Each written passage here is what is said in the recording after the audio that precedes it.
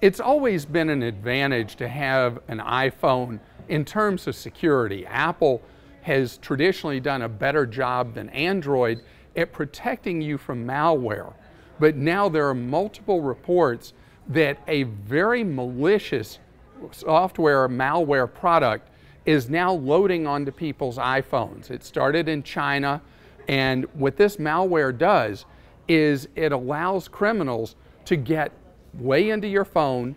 I need for you to know that if you use an iPhone, be careful what things you download, what apps you do. Stay within Apple's orbit when you do download things. Don't download items to your iPhone from various websites you visit, only from the trusted source of Apple's store.